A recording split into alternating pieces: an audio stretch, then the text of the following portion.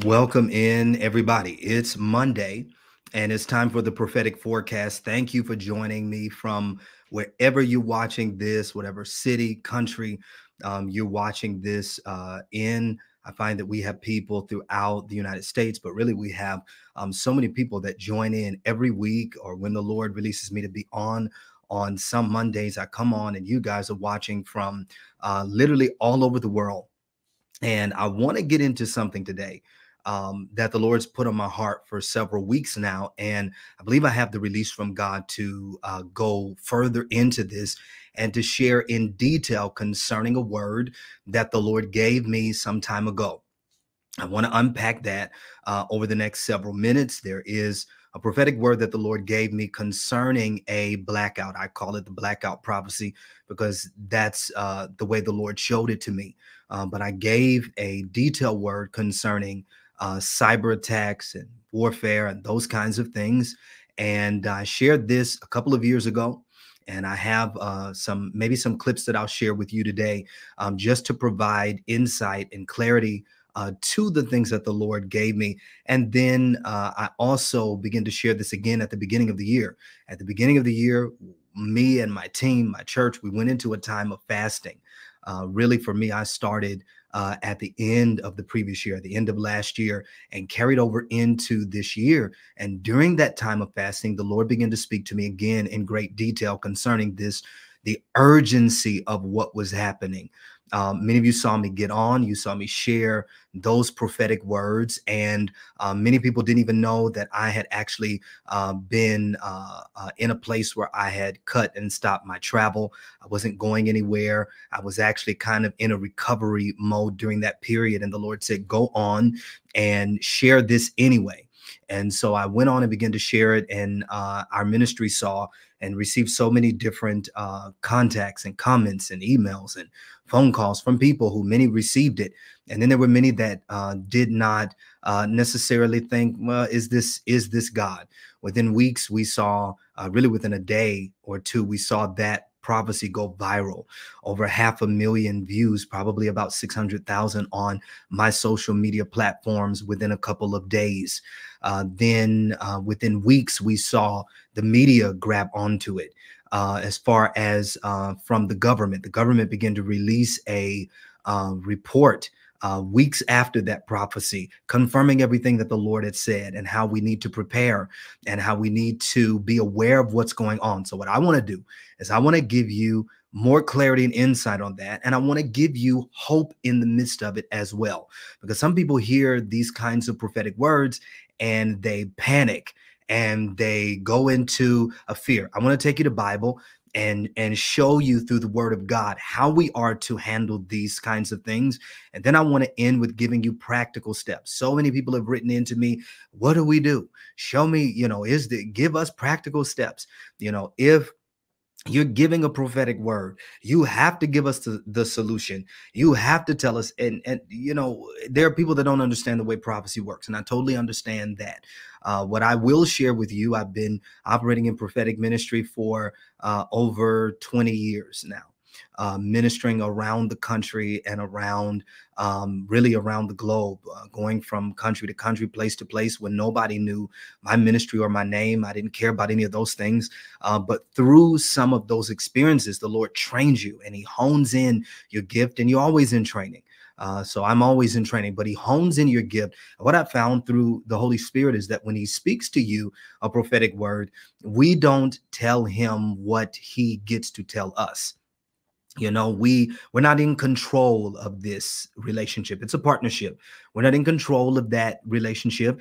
Uh, where he does not speak he has already spoken meaning he's given us the written word of god. And the written word of god fills in every gap. It gives us the foundation and everything that we need. And so we have to stop trying to cage or put prophets into a cage to say, um, well, you can't speak a word like that well, if you share this, you got to share with me how I'm supposed to do all of this stuff. That's not how this works.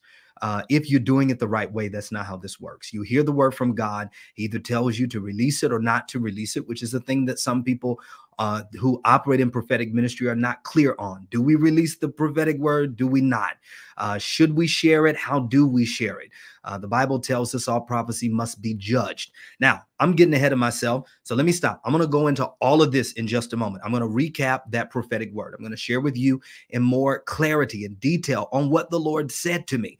Uh, sometimes you're hearing a sound bite, you're hearing a clip, you're seeing a post, and people don't know well well you know what is god really saying to this? I want to attempt to share that with you today and then i'm going to give you the hope in it and then i'm also going to share with you practical steps on what we do uh, from this point. So uh, those of you that are just logging on if you're watching from facebook do me a favor and hit the share button and let others know that we're on now with the prophetic forecast. There is a word from the Lord. God, I believe, is always speaking to us. And if we would have ears to hear, as Jesus said, He that has an ear, let him hear what the Spirit of the Lord is saying to the church. And so I believe that we are developing an ear to hear God more clearly.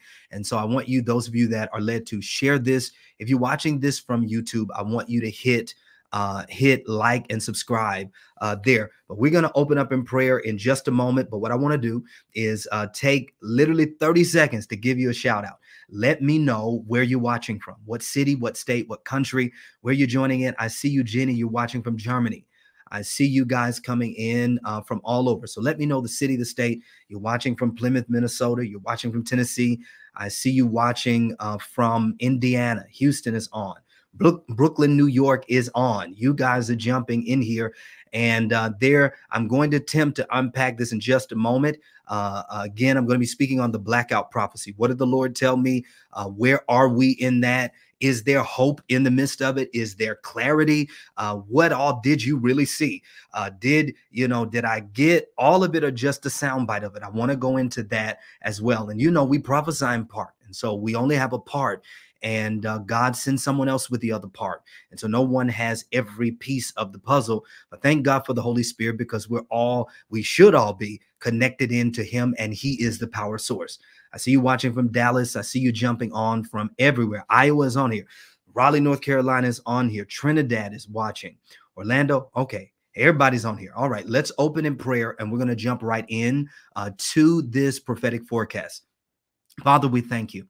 Holy Spirit, we welcome you in. We ask you to come in the midst of this broadcast, that you would move, you would minister into the lives of your people. Father, we're gathered from all over the world, every country represented on here, every city and state that's represented on here. And even though we're in different uh, geographical locations, we're connecting together with you, Father, with you, Abba, in the Spirit. And so I pray, Father, that you would speak a word directly into our hearts, that you would bring clarity, that you would bring understanding. Father, you give us the anointing of the sons of Issachar, that we might have understanding of the times and seasons to know uh, what we should do in this era, what we should do in this season and in this time that we're in. And so, Holy Spirit, as always, I'm asking you, think through me, speak through me in Jesus' name. Uh, amen and amen. Listen, if you're just coming on, hit share. If you're watching from Facebook, share it. If you're watching from YouTube or whatever platform uh, you're watching from, share it, tag someone in it, let them know it's time for the prophetic forecast. I gave a word and I want to share this with you. Let me read back to you what uh, I shared uh, some time ago. Let me read back to you what I shared. Uh, there have been several uh, points over the past several years where the Lord had me share concerning what I'm calling the blackout prophecy. Uh, there, I can take you back to 2020 or 2021. I'm actually going to show a clip from a couple of years ago uh, that goes a little bit into that. But I want to read to you what I posted uh, just uh, maybe a, a, couple of months ago uh, on social media. And this, uh, again, it went viral, it went everywhere. Some people didn't agree with it, some people did agree with it. Uh, I feel the release from the Holy Spirit as I prayed over the past several weeks to share in more detail on this. Uh, so I posted a coming blackout was uh, the title. Uh, I released this prophetic word over a year ago. really, it was longer than that. And again, at the beginning of 2024. I wrote this because the Lord placed an urgency in my spirit about what's coming. God said to me that we've come into a period of outages, blackouts, shortages, massive cyber attacks that will affect or change the world. Companies will try to hide it by saying it's a glitch or it's an upgrade in the system, but it will be far worse. In the coming years and months, really, uh, we will see it affect the internet. Where I saw outages in uh, certain areas concerning their internet, power grids, communication, fueling, transportation, and even our financial or banking institutions. What we have uh, been seeing is a prophetic precursor. The next several years will be crucial in having a strategy and a plan to navigate without the technological conveniences that we've grown accustomed to. Hear the word of the Lord as wisdom and not fear. God is so amazing, loving, and merciful that he prepares us for what is ahead. So this was the gist of of that uh, prophetic word that uh, I have been sharing for the past couple of years, often known as the Spirit of God led me. Uh, and I also want to share with you a clip that was shared back in February of 2022. Now, this only goes into just a quick portion uh, of this, but I want you to see this clip. I look a little different because I was 20 pounds heavier, but I want you to see this clip from uh, 2022 and let's uh, hear the words of the Lord uh, from that. It's a period where we're going to see cyber warfare increase. And America has not experienced that. And some of our Western nations have not experienced that. But we need to begin to brace ourselves and buckle up because those things are coming. Through our intercession and prayer, we will be able to, with wisdom, navigate and we will be able uh, to lessen the blow of some of those things. But we are going to see cyber warfare increase. In 2020, I gave this prophetic word, and people were alarmed, and some people were saying, Well, that can't be God. And uh, the Lord said to me, Say it again. Where we're going to see cyber warfare. I saw in the spirit plans uh, where the enemy would desire uh, to attack our grids and our power system uh, where the enemy would desire in America and in Western nations uh, to attack our banking uh, institutions. And so we need to begin to cover against these things in prayer. Why do we pray concerning this? We pray because the Bible tells us that we are to pray without ceasing. We're to always pray. And those that are called to the ministry of intercession, we must begin to forcefully advance in our prayers and intercession. But I saw this hybrid war where it will be fought uh, not just in the natural, uh, in a regular or traditional war sense, but it will be uh, advanced in a cyber uh, level. And so we're going to begin to cover. We need to begin to pray concerning our banking systems in America because I saw in the spirit a major hit to the banking systems in the United States. And so, uh, those of you that are uh, prophetic watchmen, this is the time to lift the hedge in that area. So I saw those attacks against banking systems. I saw it against a certain uh, uh, companies, major companies within the U.S., as well as uh, our internet and power grids in uh, certain parts of our country. So we must cover uh, these areas because we're going to see cyber attacks uh, increase more and more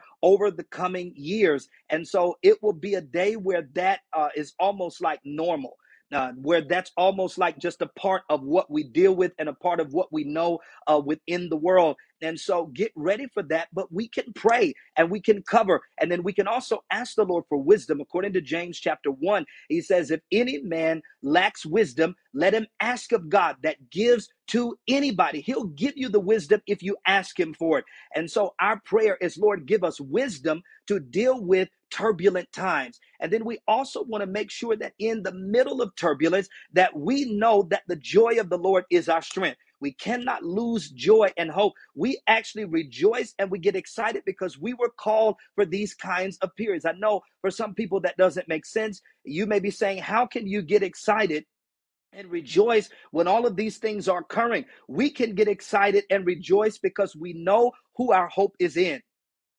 Get excited and rejoice because the Bible allows us to know that we were created to deal with adversity. We were called to deal with these times, and so we don't draw back. We stand up, we rejoice, and we keep pushing forward. But you're going to see uh, cyber attacks increase uh, within our world. And so we need to begin to cover and pray concerning these areas more and more.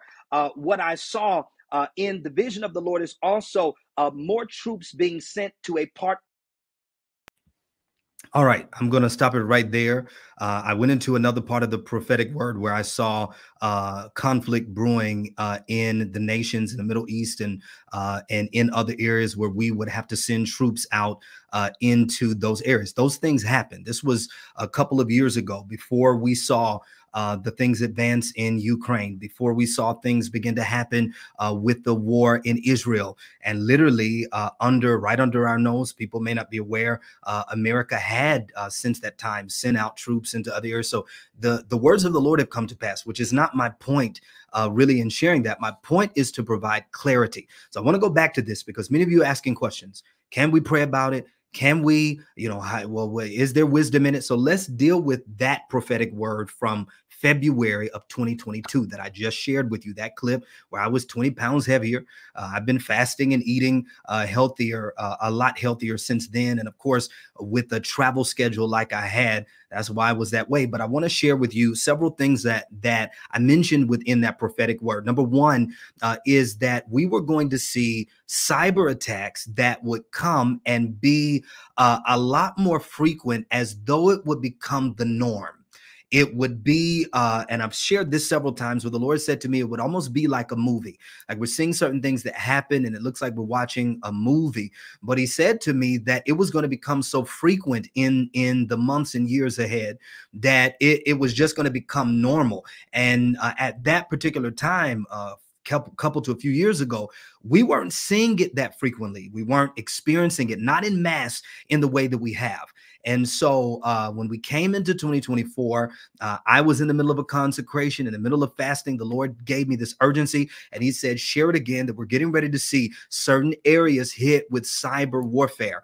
Uh, they're going to try to cover it and, and tell you, well, it's not that. And literally within weeks after that word, I was contacted by people in various uh, places in the medical industry I was contacted by nurses and doctors. My ministry was contacted by people in government. I was contacted by people literally all over. You guys have no idea uh, how what a, a whirlwind happened in my life after that prophetic word just in January. Uh, and it really was a whirlwind. What we saw erupt uh, out of that uh, was we saw uh, phone lines hit, we saw cell phones hit, we saw uh, uh, certain people that could not log in or get on the internet in their state.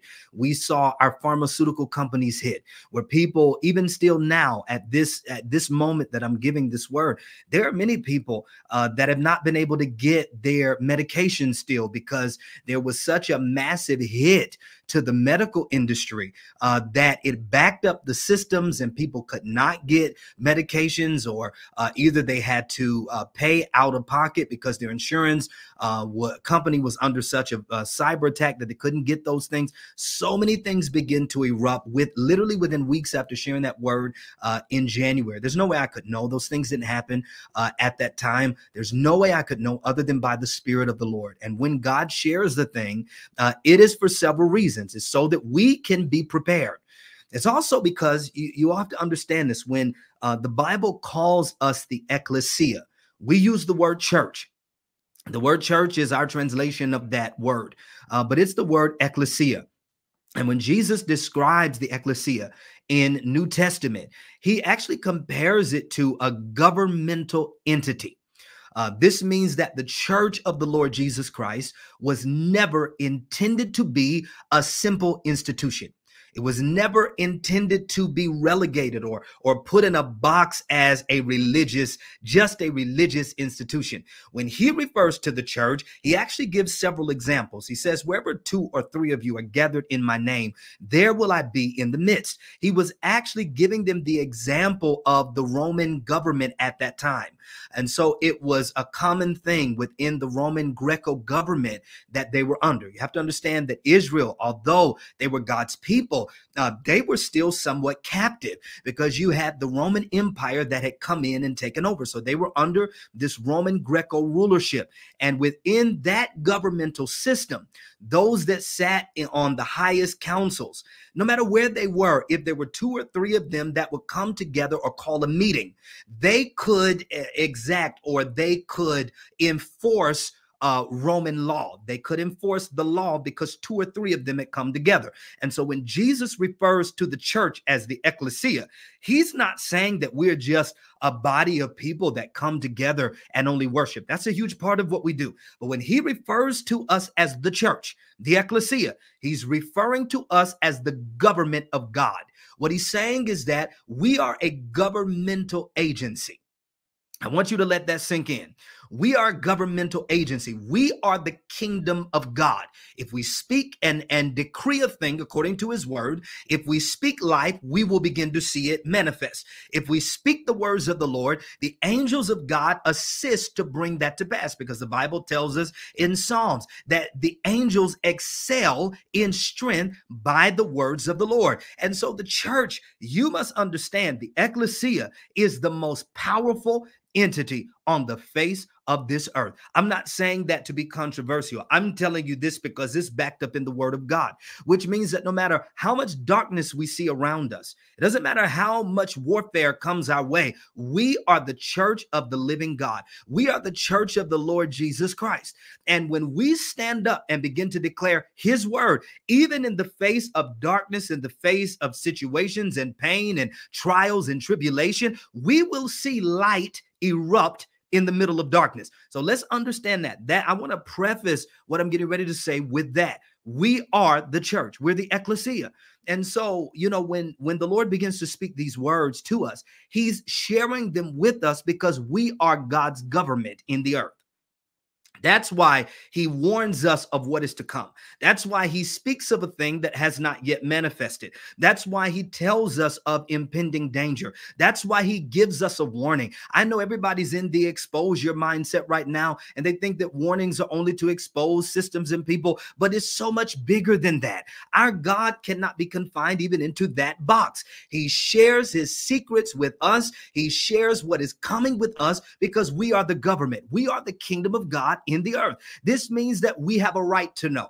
This means that we have certain benefits. We have an advantage. We have an advantage to know what's coming. And if we would begin to pick up our Bibles and begin to read and study, everything is already outlined in the Word of God. What's happening now and what's going to happen. Ecclesiastes 9 tells us this what's happening now has happened before. And God causes the same thing to happen again so that history would repeat itself and that no man would know the end from the beginning. And so we're in this prophetic continuum where we're seeing a, a, repetition of certain things. But I want to get back to this word because there's so many people that have questions on can we pray against it? Yes, we can pray against these things. Let's answer these questions. I want to go through this because uh, I've said this many, many times over the past couple of years, but I do realize that we have people that have not watched those uh, live videos or they've not watched those recordings. So uh, they don't know that I've spoken in detail on how we pray, not just that we can pray, but how we pray. So, yes, we can pray against those uh, demonic plans and plots of the enemy. And yes, we have been praying. At the beginning of the year, the Lord told me to start a 24 hour uh, prayer uh, campaign, and I did that for uh, over a month we began to pray and we're going to relaunch it uh, where we had so many of you thousands of you signed up uh, to take an hour of prayer. So every single minute and an hour of the day there was someone or ones there were literally hundreds of people praying. Not only were they praying for me and you uh, they were praying for we were praying for our nations we were praying for our government and the governments of those that were represented in that prayer watch. We were putting up a hedge and a covering over the nation. So I just want to speak to that because there are many people that say, well, you know, you release these words, and, but you didn't even pray about it. Yes, we have. And yes, we are. And yes, we do. What we see and what you see when I come on here on a Monday for uh, uh, 40 minutes or however long I'm on here is literally a snippet uh, of of what we're actually doing. It's not really the fullness of it, but there's so much prayer and intercession behind the scenes and with uh, with intercessors all over the country and all over the world that have been praying uh, for God's covering and praying for the will of God and the hedge of protection. Uh, so when I share these prophetic words, believe me, I'm sharing them uh, with a certain uh, level of, of foundation beneath it, where it's not just coming on haphazardly or just sharing anything. I don't share for clicks and for views. I share uh, whether people want it or not, if the Lord gives me that prophetic word. Now, there, there are other things that were mentioned in the clip that I just uh, allowed you to see a few minutes ago. Uh, not only did I mention that those things will begin to become the norm, and we've seen it happen uh, over the past couple of years. I also mentioned that we can pray against these things. Now, some things this is this is where it gets a little uh, controversial for some people. There are some things we can pray against, and it will change. There are some things that uh, are going to happen even when we pray. And so I don't, I am not in agreement uh, with uh, many of those prophets that always say uh, that this happened because the people didn't pray. I don't believe that. I don't agree with that uh, because there are so many hundreds of thousands of intercessors all over the world that are praying and that are contending in the realm of the spirit. And we cannot uh, succumb to the false thinking that we just weren't powerful enough. That's not true. And we cannot come to uh, succumb to the, the false narrative. Well, because the church has sinned so much, that we are not powerful enough. Yes, there is sin within the church, but there's always a remnant of people that have not bowed. And when we look at God's relationship to man from Old Testament into New, he was willing to save a city over just find me a few righteous in the city and I'll save the city. Just find me a few people that are willing to stand in the gap. So God never looks at a, a city or a nation and say, there's so many millions of people sinning in this nation, so I'm going to destroy that nation. So we we also have to get the clarity that what's happening now uh, is not God destroying nations and systems. So let's let's deal with this. He's allowing certain things to happen, but God himself is not coming in bringing destruction. That's not what he's doing. Yes, he is judging. And yes, there is a time and a point that will come in the future where destruction is going to come, and he's going to allow uh, Abaddon, the Bible says, who is called the destroyer, to be released in the earth. I do believe that we're seeing uh, that demonic force already rising right now, but I need to bring clarity to this uh, that God is in the business of speaking life through us and in us. And many of the things that are happening in the earth, yes, it's because people have let it in, but it's not because they are not people that are praying and people that are serving the Lord. It's not because they are not people that are righteous. It's not because uh, the people are not seeking the Lord, uh, but many of these things are happening because you've got wickedness in high places, because there is a demonic agenda that is pushing very rapidly within the earth to try to bring about chaos, to try to bring about darkness. Now, let me read to you this in Second uh, Thessalonians. I need you to I need you to go to Second Thessalonians chapter 2. I've got to give you the word, and I'm going to go back into this prophecy and provide more clarity, hope, and give you some practical steps on what you can do. So let's deal with this. Second Thessalonians chapter 2 and verse 1 it says now brethren concerning the coming of the lord jesus christ and our gathering together to him we ask you not to be soon shaken in mind or troubled Here's the apostle saying, Don't be shaken, don't be troubled in your mind, either by spirit or by word or by letter as if from us, as though the day of Christ had come. Let no one deceive you by any means, for that day will not come unless the falling away comes first. That day is not going to come until there is a falling away. We're experiencing a great falling away right now. When the Bible speaks about a falling away, it's been happening where it is the spirit of apostasy within the earth, uh, where there are many that are beginning to turn uh, away from God. There are many that are beginning to turn their hearts away from Him and they're going serving after their own idols and after other gods and after their own lusts and those things. And we have to be careful to safeguard ourselves from the spirit of apostasy, meaning we we do this by staying grounded in the word of God. We do this by making sure that we're reading the word of God and studying the word. We're spending time in the presence of the Lord and we're not allowing any thought that is contrary to the word to embed within our minds. It's called the stronghold. And the enemy moves by strongholds, whispers and thoughts that come into the minds of people to try to make us believe something other than the word of God. And so we're in the season of a great falling away. Unfortunately, it is going to get worse over the next several months. You're going to see many people uh, that are beginning to go and serve another God. You're going to see many people that will call him Jesus, but it's really the spirit of another Jesus. It's not really uh, Yeshua. It's not Yahweh. It's not the God out of the Bible is some other thing or some other entity uh, that they're uh, chasing after. You're going to begin to see many people begin to bring in false doctrine. And so we have to begin to guard ourselves from seducing spirits and doctrines of devils. That's what the Bible calls it seducing spirits and doctrines of devils. Seducing spirits, they come in to try to convince you of something other than Christ.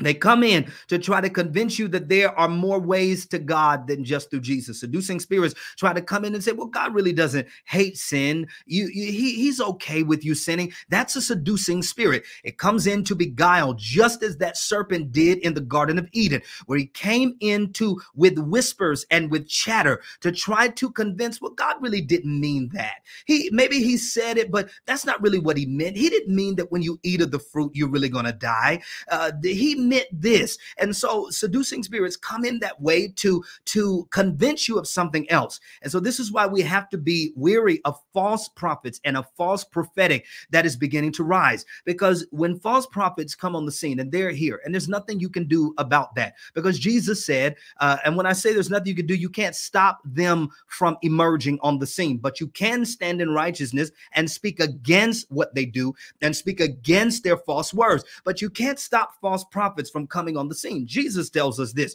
He said, In the last days, there will be many false prophets. There are going to be many of them that arise. You've got to make sure that you have enough discernment that you don't give in to that. And so a false prophet may release an accurate word, but they will always teach a lie. Hear me by the Spirit. A false prophet or a false prophetic voice will always release an accurate word. They can tell you accurate things about yourself, but they will teach a lie. They will teach something other than Christ. They will come in with some kind of off doctrine. And so you have to pay attention more so to what is it that they're teaching beyond uh, what is it that they're prophesying. Yeah, I need to judge your prophecy, but I have to judge the fruit. I have to judge your character and I have to judge what is it that's coming out of your mouth. What are you teaching? What are you sharing with people? What are you you exemplifying uh, through your message? And so we have to be very cautious of those things that are already here and they are coming. And so we're going to see uh, even more so a great falling away. It's already happened. That falling away does not necessarily look like everybody leaving the church. Sometimes there is a falling away of people and they're right in the pews. There's a falling away of people and they're standing in the pulpit preaching. There is a falling away and they're still prophesying, which is the only reason that someone could stand before God and say, Depart from me. And he say, Depart from me, you workers of iniquity. I never knew you. And they say, But we prophesied in your name. We cast out devils in your name. We we preach this gospel, but he says, "But I never knew you." He's speaking to a certain segment of the church. Let let's let's get this this part together. He's speaking to a certain segment of the church because everybody doesn't believe in casting out devils. Everybody doesn't believe in prophesying. Everybody doesn't believe. Uh, there is a certain segment of the church where we believe in prophecy. We believe in casting out devils. We believe uh, in uh, the Spirit of God still moving in the earth. There are some that don't believe that. He's speaking to us. He's speaking to us that it's very possible that we could prophesy. He's speaking to us that it's possible that we could be preaching the gospel in his name, but have lost connection and relationship with him. My prayer is that that would not be me, that that would not be us. And so, as Paul said, he said, I dare not preach to you and then be a castaway myself. I dare not bring to you the word and to have lost the conviction of the Holy Spirit within my own life. So, all of us, we're in the season where everybody's trying to expose everybody, but many people are forgetting to cover your own self. Everybody's trying to point the finger at this one and that one. And oh, did you hear what happened to, to Pastor so and so down the road? But but are you uh, in right standing with the Lord? Everybody's trying to call out what's happening in this system and in that organization and in this church. But what about your connection with the Father? Where are you in Him? And there comes a time where we've got to begin to pull into God and begin to allow Him to search us and to allow Him to look within us and see if there there's anything in me that's not like you, take it out. And sometimes we got to bring ourselves back to the altar. We got to bring ourselves, we got to put ourselves on a fast. There are times that we got to put ourselves in consecration and we've got to pull down the idol in our own heart instead of trying to call it everybody else's. That's a whole nother message right there. But let me move on because I got to get back to this. Let's go back to uh Second Thessalonians. I got to finish reading this uh, portion for you. It says, Let no man deceive you by any means, for the day will not come unless the falling away comes first, and the man of sin is revealed, the son of perdition. Now, speaking about what we know as the Antichrist, but the Bible also says there are many antichrists. Uh, those that will come who are other than or opposite of Christ. And so it says this in verse 4 who opposes and exalts himself above all that is called God or that is worshiped, so that he sits as God in the temple of God, showing himself that he is God. Oh, wow. This son of perdition would come uh, to uh, put himself above anything that is called God. And the Bible says here, so that he sits as God in the temple of God, showing himself that he is God, to purport that he's something that he is not. Uh, we, that's a whole nother message that we can go into, but pay attention to that. And then verse five, it says, Do you not remember that when I was still with you, I told you these things? And now you know what is restraining it says that he may be revealed in his own time. For the mystery of lawlessness is already at work. Only he who now restrains will do so until he is taken out of the way. And then the lawless one will be revealed, whom the Lord will consume with the breath of his mouth and destroy with the brightness of his coming. Wow. Listen, let, let me try to explain this in the short time that I have left. Uh, when we read this in Second Thessalonians and around verse 5, it talks about the restrainer one who restrains, even though the mystery of lawlessness is already at work. And uh, the author of this scripture refers to it as the mystery of lawlessness, meaning that uh, there is so much chaos. When you see the word lawless, uh, it deals with chaos. When you see the word lawless, it deals with uh, things that are uh, happening and there is no boundary. There is no kind of moral compass. There is nothing in place uh, to uh, bring about morality. It's a lawlessness that's happening. It's not just dealing with lawlessness in people. This scripture is referring to lawlessness within the systems of the world uh, where there would begin to be those that operate and they don't they no longer have compassion. They don't have love in them. There is uh, uh, no kind kind of uh, of morality, no moral compass that's there. And so we're in this place now where there is lawlessness within the world already and lawlessness within the systems. But here is the hope in this.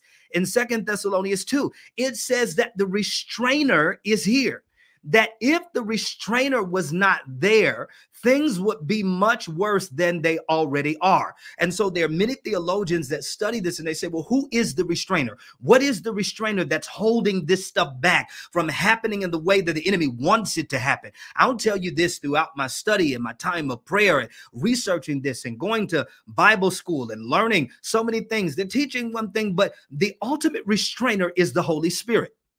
The Holy Spirit, not only is He the comforter, He is also the restrainer. He's literally holding back what the enemy desires to do within the earth. And so, this is where I want to give clarity. I came to you with a, a prophecy of blackouts and things that are going to happen. And those words, I believe, are from the Lord. And those things we've already seen. And yes, some of those things are going to get worse in the earth you're going to continue to see it because of the time that we're in. You're going to continue to see it happen because of the new era that we've stepped over into.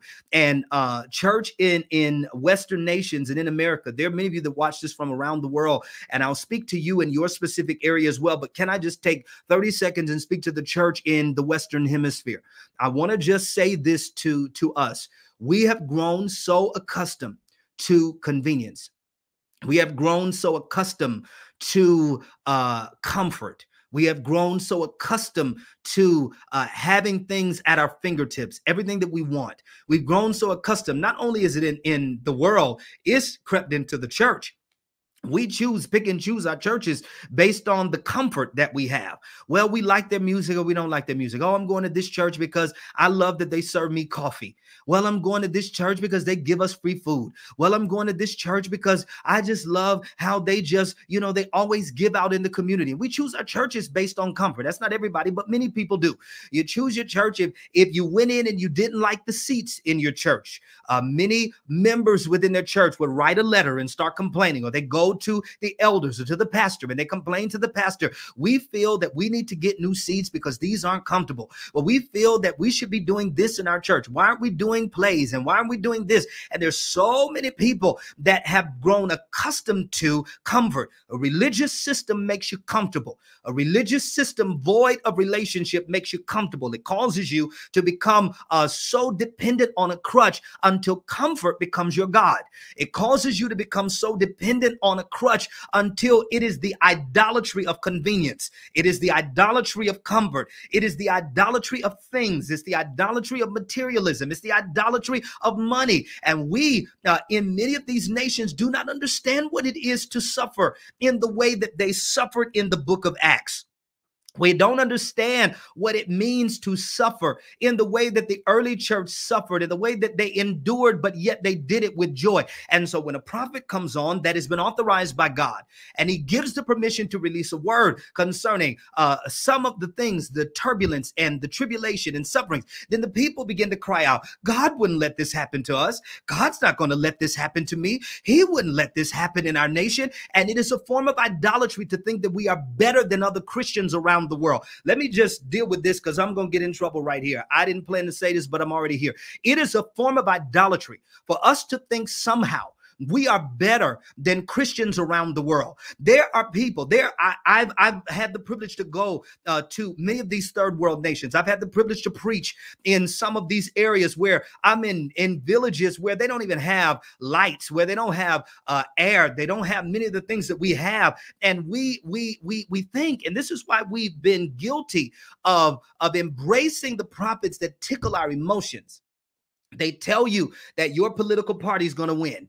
They tell you that you're going to have all these things, and they tell you it's going to be peace all in the world systems. And they give you these things to tickle your emotions, and then it doesn't happen. And the prophets that may be raw and may be telling you things that you don't want to hear, but they're giving it to you from the word of God. We stone those kind of prophets because we say, well, you're not giving me uh the really what we're saying is you're not giving me the comfort with it. You you're not giving me the could you please just tell me something that makes me feel better? So you would rather a prophet make up a word and get on and give you part of what God said and then the other part that's made up.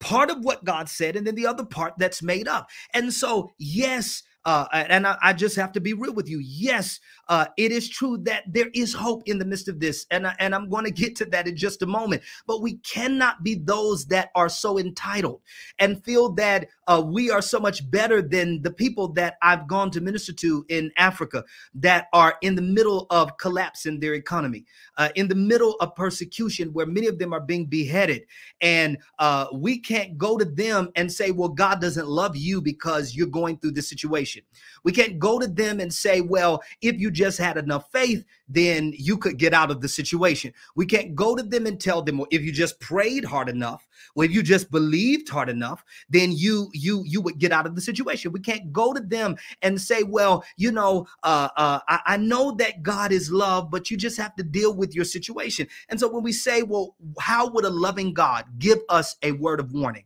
Listen to that statement. Why would a loving God give us a word of warning. Why would a loving God come on and tell us of blackouts that may come and of cyber attacks that uh, may come and of things that may happen within our government that we've never experienced before and things that may happen in our world that we've never seen before? He does it because he loves us. He does not want his body, his bride, his church to be caught off guard. He tells us these things not to ensue panic, not so that you can go and just say, Oh my God, I'm in fear. He literally tells us trouble is going to come. Don't let your mind be troubled. Don't let your heart be filled with fear, but things are going to happen in the world. He tells us in the Gospels there are going to be wars and rumors of wars. There's going to be earthquakes all over the place. You're going to see all kinds of chaos begin to erupt, but don't be in fear. Don't let your heart be troubled. A loving God would tell you those things. A loving God would come to you and warn you of it because he cares so much for you. A God that did not love you would not warn you. A God that was not merciful and did not care about what would happen would not even tell you anything about it. He would leave you to your own devices and you would be in the middle of it saying, Why didn't we know? Why didn't we hear this? And so, those of us that are of that mindset, and we're in the Western nations, uh, America and other Western nations, we've got to begin to shift our mindset. You have to stop trying to make prophets tell you what you want them to hear. That's not how this works we share if we give in the unction of the Lord and if we do it right, we share the words of the Lord and we share the words of the Lord as he gives them. And of course, hope is always a part of that. That's in scripture. I would assume that uh, the majority of people that would hear uh, these prophetic words, I would I would assume um, that this is going primarily out to the body of Christ. There are many people that come on from other uh, uh faiths or religions or whatever that hear and they're nosy and they want to hear as well. Uh, but this is primarily to the body of Christ. We should know the the word. I find also that it's interesting that people would rather uh, uh, a prophet or somebody else do the work than seeking God themselves. I find that it's interesting that we want to say, You tell me everything. So you gave me this word. Now I want you to go back and you go and you ask God to give you every single point concerning this on all the details of what we need to do. And what we have done, which is idolatry, is we have begun to substitute our relationship with Holy Spirit with a prophet or with a man or woman of God. And a prophet, a man or woman of God, an evangelist, a pastor, a teacher, we all have our places in the body. And it's important that we function. But we are not to take the place of your relationship with God. We are not to take the place of your connection with the Holy Spirit. And it is a lazy church that says, just tell me everything. Just you go and you tell me all of the details of what I'm supposed to do. Well, have you prayed about it? Did you go and seek Holy Spirit about it? Did you go and commune with God about it? I know that this sounds very corrective, and some of you think that it's harsh, uh, but I'm going to say it anyway. Have you gone to the Father about it? Have you asked the Lord concerning uh, uh, that word and what you should do concerning that word? And when you ask God concerning that word, what did He tell you to do? You cannot substitute your relationship with the Father. You must seek the Father. You must seek after Him, and you must hear Him clearly. And maybe the instructions that He will give you might be slightly different from instructions that He would give someone else because your life and your situation might be different. I have to say these things before I go uh, any further into giving you practical steps and instructions because even what I'm giving you now, you should take this into prayer. You should take this before the Lord. You should go into your word and you should begin to study the word of the Lord. And so there's coming a balance a balancing to the prophetic. There's coming a reset to the prophetic. We're going to begin to see it happen where the Lord's about to reset the prophetic, where we're not going to have uh, prophets and prophetic people on uh, pedestals uh, where it becomes a form of idolatry, where we think we don't have to pray to God ourselves. Let me just listen to you and you tell me everything. That's not how this works. Yes, we hear the words of the Lord and then you take it and you go to God about it yourself. Now, uh, I want to go back to this and I want to finish this and I'll give you the rest of this uh, prophetic word. Second Thessalonians 2, I want you to read this uh, yourself. The restrainer is holding back what the enemy desires to happen in mass, but there are some things that are going to happen. There's some things that we're going to see. And one of them, again, uh, it will be uh, a, a, continuation of what we've been seeing, where yes, we're going to see cyber attacks get worse within the earth. Yes, we're going to see blackouts continue to get worse. But the Lord said to uh, begin to prepare yourself spiritually and prepare yourself naturally uh, in the things that you could do. Some of you, you're going to think that is far fetched, but it is it's in the same way that you would prepare for a hurricane. If there was a hurricane coming to your city or to your area, uh, you would not think that it's an alarmist strategy to uh, get certain supplies and to prepare. If there was a hurricane coming to your area, I lived in Florida for uh, uh several years in my childhood. And so we were in some of the worst hurricanes there, uh, even when I lived there, and we learned to prepare. The church wasn't up in arms when uh, someone said, You need to prepare, go and get water, go and get these things. It wasn't a fear based thing. We did it because we didn't want to be caught in a storm without preparation. The Bible speaks to us concerning preparation. Throughout scripture, uh, we see this. We see it with the five foolish vir- virgins and the five wise. The five wise virgins, they prepared themselves, they had enough oil so that they were ready. They waited all night and they were able to enter in. Those that didn't prepare, uh, they had to go and try to find things at the last minute. And so when I share this with you, I'm sharing it with you out of a place of wisdom not out of a place of panic, not out of a place of fear, uh, not so that you can be troubled. I'm going to say, as the word of God says, do not let your heart be troubled. Do not succumb to fear. Don't succumb to panic in that way, but use wisdom to navigate. And that's what uh, that prophetic word that I shared, uh, uh, even the clip that I shared with you uh, from 2022 concerning this. Uh, one of the things that the Lord told me is He said, I'm going to give you wisdom to navigate this. So this is where faith comes in. Uh, even though we're going to see many disastrous things come in the world, God's going to give us wisdom to navigate those things as we begin to ask Him for that wisdom. So there are several areas that if you are an intercessor, these are areas I want you to target in prayer. Those of us that are part of my ministry and many others, we've been praying concerning these things. The Lord told me that it was going to be uh, blackouts, where there are going to be outages, where the enemy desires for our power grids to be targeted, where the enemy desires uh, for not only that massive cyber attacks against major companies, uh, where we'll see it again in uh, to it will affect our internet systems. Uh, the enemy wants to affect our power grids, communication, fueling, transportation, and even our banking institutions. Uh, you see that many of you that have this book on page 222, I wrote this prophecy down. This is a book of prophetic words and visions that the Lord gave me. And on page uh, 222, it's under the chapter called A Different Kind of War. I speak about these things here. It says, For many years now, I prayed as the Lord leads, along with groups of intercessors in my ministry for the United States and for other nations. Several times the Lord has spoken to me uh, of a coming warfare warfare that we're going to see, which will be detrimental to the nation. It's going to be detrimental uh, to not just our nation, but nations around the world. In a vision from God, I saw three key nations uh, and and they banded with others to come against America. Now, this again is for prayer strategy, so we could know how to pray. I believe these nations have already come into a secret pact and agreement, and I'm reading out of this book on page 222. I believe these nations have already come into a secret pact and agreement, and they desire to cause destruction. The result will be a different kind of war. They will use weaponry with advanced technology that has not yet been revealed to the masses. In this vision, I saw what looked like biochemical and cyber weapons, and even the use of pathogens. These rebellious nations have opened themselves up to be used of an ancient demonic principality called Abaddon. This is the destroying spirit that is now operating in the world. Revelation 9 and 11 uh, speaks of this. It says they had a king over them uh, an angel of the abyss whose name in Hebrew is Abaddon. Now, uh, I, I don't want to go too deep into that because that's maybe that's a little deep for some of you. But if you read the rest of that chapter uh, in that book, many of you have it. Uh, it goes into more detail concerning it. But one of the things that I brought out uh, in this particular chapter is I saw a different kind of war. It was biochemical and it was also uh, going to come in the form of cyber warfare uh, where it would be at a point at a level that would look like a movie. And again, this is this book was written uh, several years ago now. A couple of years ago, it came out, and uh, we've seen these things begin to happen. It's already begun to happen.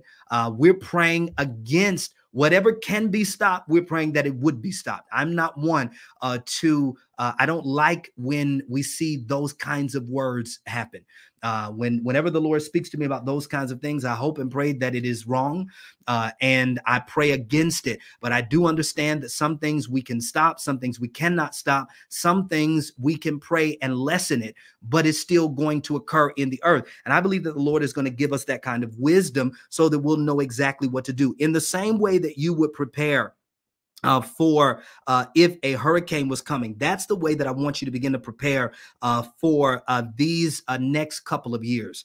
And I'm just going to share this with you. And again, I don't say this to panic uh, you at all, but I'm going to read just a short list. There are certain things that you will need in the same way that you would do. You would be, if there was a storm, you would begin to store up non perishable foods. You would get certain things that you could have there. I'm just going to encourage that. I know that there are many people that, uh, again, they're saying that is panic, you're fear mongering.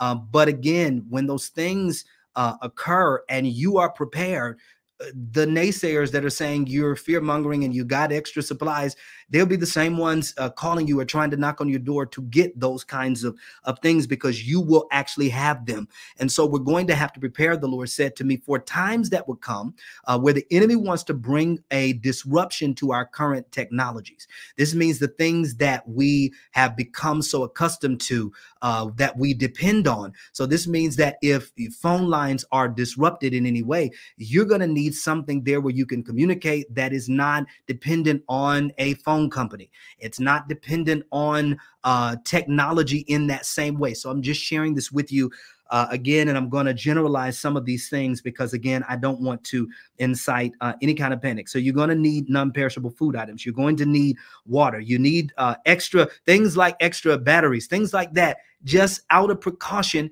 get those kinds of things uh, and and have them there.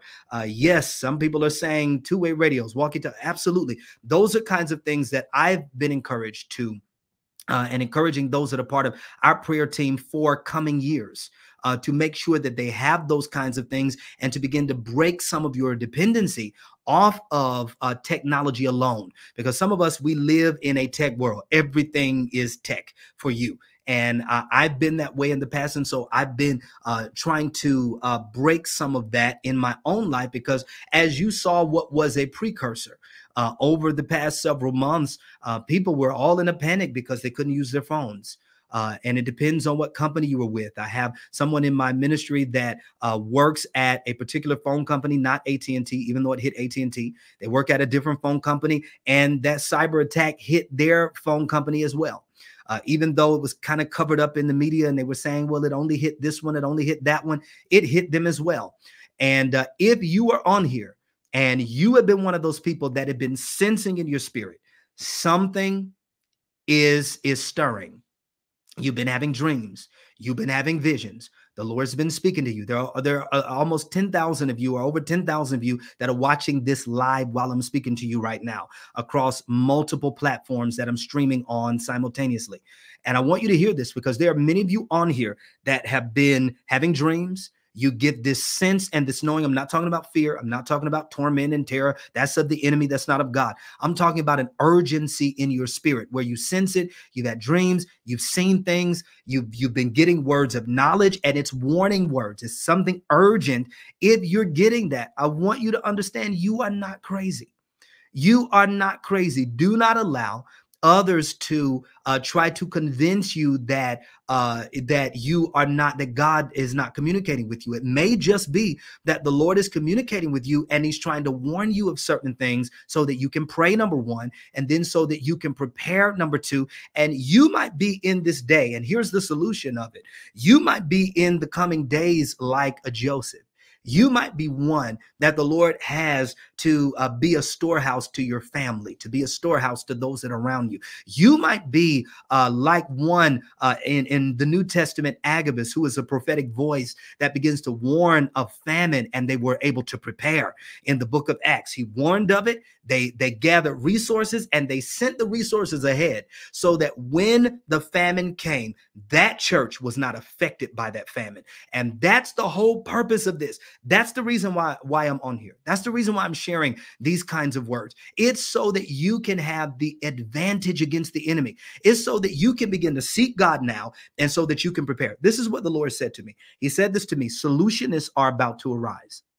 It's not coming through one man. It's not coming through one woman. It's not coming through one prophet.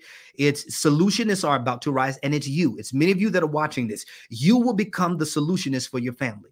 You will become the solutionist for your community. You're going to become one uh, like a solutionist or a Joseph in your church, and you're going to say, God gave me a vision. I saw it. I saw how we can plan and prepare. I saw how we can thrive even when the economy is hit. I saw exactly what we need to do. I saw, and God gave me an idea. Many of you are going to begin to say that. I got this idea. I heard it from the Lord. He showed me this. When when things begin to collapse in the financial industry, we won't be affected by it. Why? Because somebody had enough faith and courage to rise up as a solutionist and to begin to prepare now. So I'm going to release this word and I want you to take it and seek the Lord about it and see what you can do. It may come through an idea, it may come through a dream, it may come through a word of knowledge, it may come to you through simply praying and sitting in the presence of the Lord in your quiet time and the Lord giving you peace and giving you wisdom about it. When He does, I want you to take that, write it down, and I want you to begin to use that. Start now start now in in the vision of god i saw uh, uh literally it was like a time clock uh over uh, uh, a certain nation and this time clock it was going. Uh, and the Lord said to me, I'm giving uh, my people a period of reprieve, a period to prepare, a period to get things in place uh, in spiritually, naturally, uh, even mentally, to get things in order for times of tribulation that will come in the earth. You're going to be ready when it comes. The strength of God is going to come in your spirit like never before. You're going to have an overwhelming peace in the middle of chaos where you're not going to be shaken by the things that occur. You're not going to be shaken by what you see around you. The peace of God is going to be there. The joy of the Lord is going to be your strength. The joy of the Lord is your strength right now. And so we have no reason uh, to succumb to fear and panic and all of those things. We have been given an assignment from God, and, and you are needed more now than ever. You're needed more now than ever. Uh, I've been uh, trying to release this and herald this message around the nation as the Lord has sent me over the past year. I did a tour where I was speaking about mantles, this book right behind me, Mantle for Greatness. I wrote it just several months ago. It came out. And I was uh, going and sharing this, how the Lord says, I'm activating mantles right now so that you're going to be preserved in the days ahead. You're going to be empowered. You're going to have uh, these spiritual weapons against the enemy. And I believe it's within the anointing, it's within mantles, it's within God releasing revelation, and He's going to use it to bring out the greatness that's on the inside of you. And so the time is now. The time is now for you to prepare. The time is now for you to do what God has called you to do. The time is now. Uh, if you are one that the Lord has said you're going to become a storehouse, begin to pull it together. If you're one where the Lord says you're a storehouse, uh, you, uh, some of you, you, I met so many believers over the past year that said to me, the Lord told me to buy a farm. You heard my testimony. You've heard others. You literally bought a farm and and started growing food because you are a storehouse for somebody else. And so in times of shortage you're going to have. Uh, there are others that have started businesses where they're saying uh, god told me to do this because i've got to help other people. And that's exactly what it's about. And i may sound like a broken record to many of you and i don't care because uh, I, I, went through this in 2015 where I gave the words of the Lord of what was coming in 2020. The Lord had me call out the year and everything. The Lord said to me, and I released it to my church, that there's coming uh, something that will come out of a lab. And it'll be some virus released out of it. And when the Lord gave it to me, it sounded like a broken record because I kept releasing it because He kept saying, Tell them again, tell them again, because they need to understand the world has changed. Things have shifted. There are things that play in our nation that we need to be prepared for and we need to pray against. And I'm going to leave you with this uh, word speak life in the midst of it.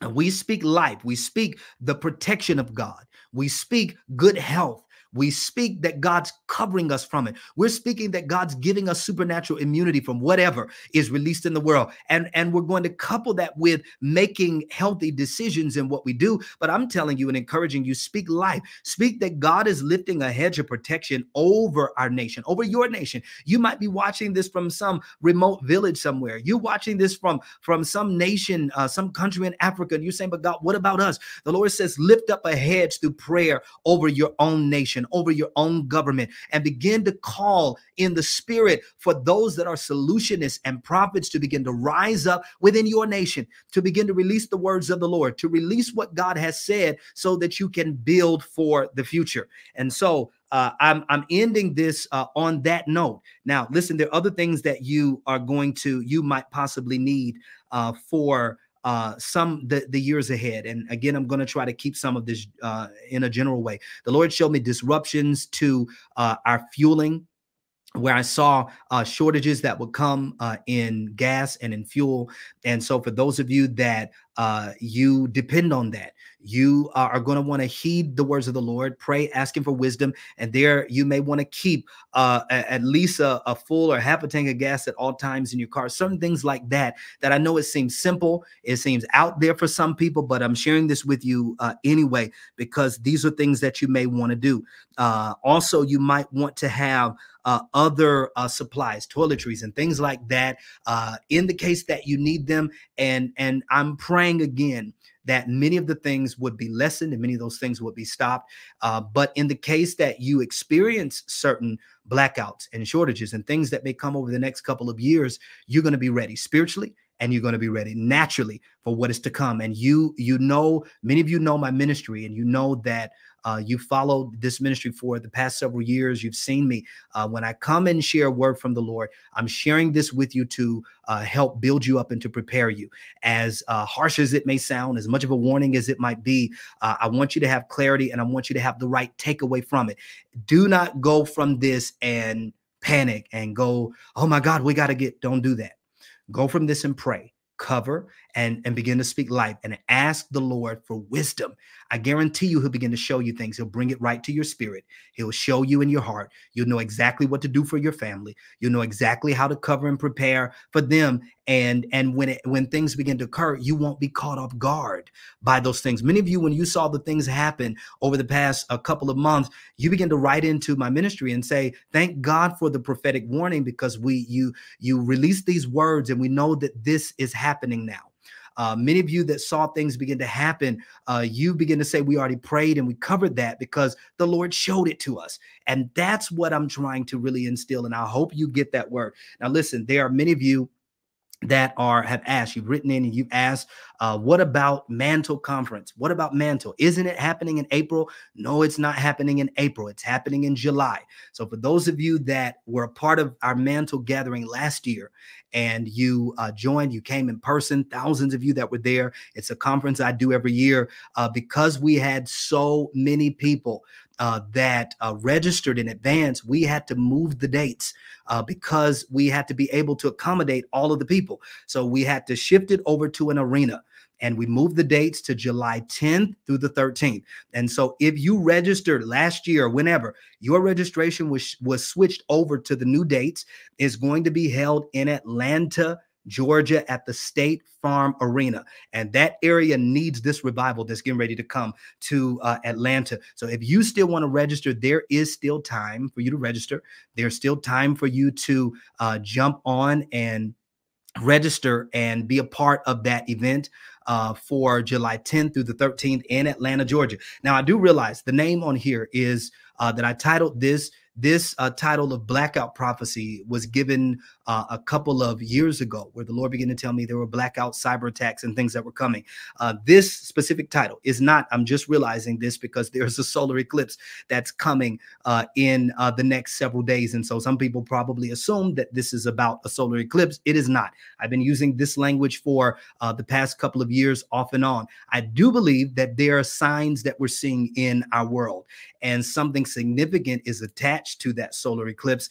I didn't plan to talk about that today. Maybe I'll come back on and share more about uh, the the solar eclipse, uh, maybe on uh, maybe in the next several days.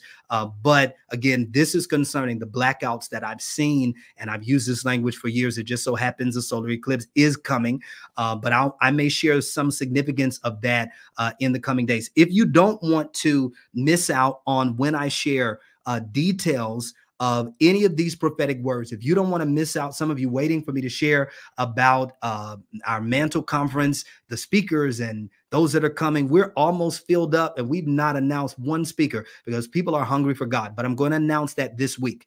And if you want to get that announcement right to your phone, I want you to text uh, this uh, text thread. So We've got a number that you can join our text thread. I send out prophetic words through that. And it doesn't matter what country you're in, you can text the word kingdom. That's the word kingdom, K I N G D O M. And again, that's because we're part of the kingdom of God. And so you can text the word kingdom to the number 833 201 5884. Again, that's 833 201 5884. And when you text uh, the word kingdom to that number, uh, you're going to you're going to immediately be put into uh, our text thread.